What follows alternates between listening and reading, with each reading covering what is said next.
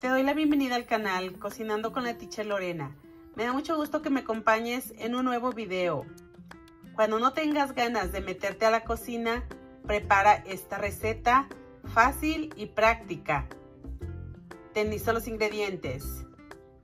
5 latas de atún, estoy usando atún en agua, media cebolla morada, un pepino, dos aguacates, tres jitomates, y para aderezar esta ensalada, sal y pimienta al gusto, el jugo de un limón. Lo primero que vamos a hacer es abrir las latas de atún e ir a drenarlas. Al pepino le vamos a retirar la cáscara y las semillas y la vamos a cortar en cubos tamaño bocado, al igual que el jitomate y el aguacate.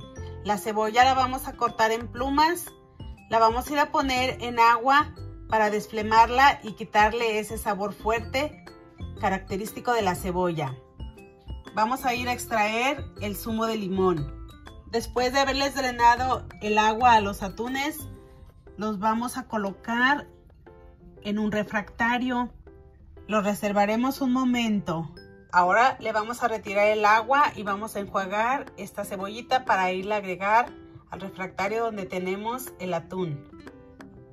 Después de picar todos los ingredientes, los vamos a ir a integrar al bowl donde tenemos el atún y la cebolla. Ahí le vamos a agregar el jugo de limón y lo vamos a salpimentar.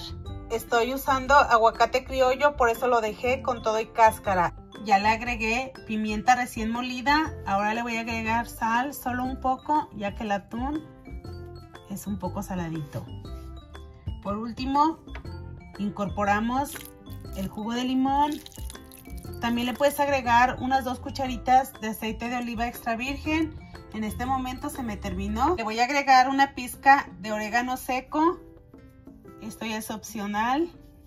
Te presento el resultado final de la receta. Si te gustó, regálame un like. Si eres nuevo viendo este video y andas por aquí en el canal, suscríbete y comparte. Me he servido un poco de esta ensalada. Voy a probar por ustedes. Aquí me preparé en una tostadita horneada. Provechito.